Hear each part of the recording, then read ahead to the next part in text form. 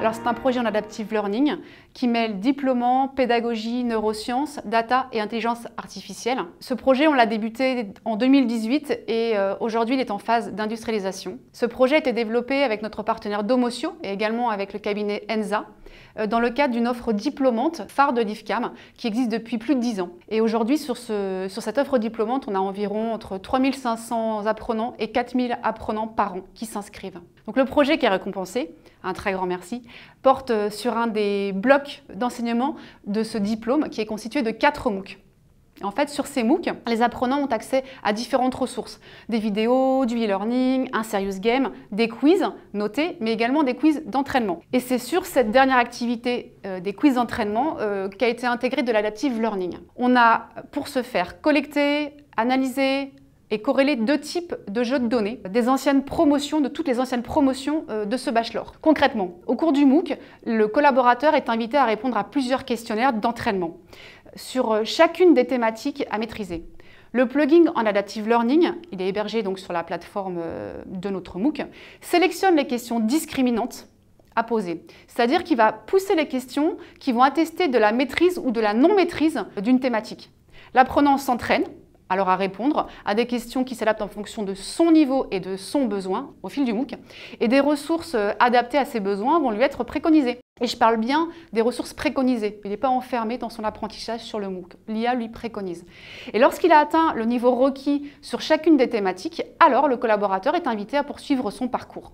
En fait, in fine, ce projet nous a permis de proposer un apprentissage optimisé.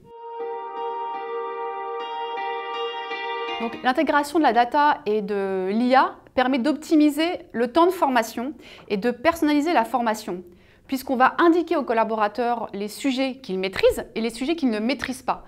Du coup, euh, on va lui dire ce qu'il est pour lui prioritaire à revoir pour obtenir son diplôme. C'est un vrai impact pour le collaborateur.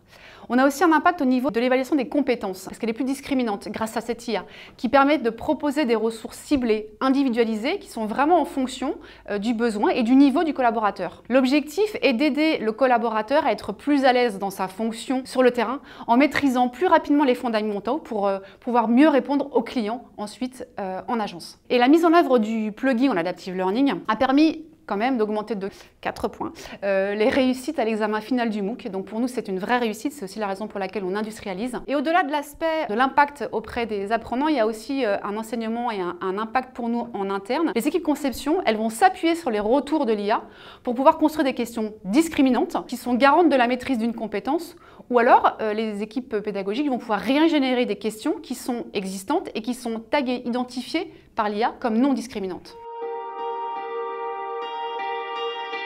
Sur un projet de cette envergure, où les enjeux sont, forts, il est vraiment important d'embarquer tous les acteurs, toutes les parties prenantes euh, des équipes techno, au diplômant, les équipes pédagogiques et bien évidemment le programme Data IA. Il faut vraiment se lancer dans un projet comme ça, si et seulement si le projet a une vraie valeur d'usage. Il faut très très vite anticiper le passage à l'industrialisation avec l'aide d'un architecte euh, en système d'information afin de valider la faisabilité technique du projet. Il faut être extrêmement vigilant sur les, sur les data, euh, sur la recherche, la pertinence, la collecte, le traitement, l'analyse, la fiabilisation, la sécurisation des données passées, tout ça dans le respect du RGPD, mais il faut aussi s'assurer euh, que les données qui vont être générées dans le futur euh, soient propres pour qu'on puisse poursuivre correctement le projet. Et pour finir, il faut vraiment s'assurer de mettre face euh, à un besoin ciblé de formation, une vraie réponse formation, très ciblée, granularisée, adaptée, pour proposer aux collaborateurs une belle expérience formation.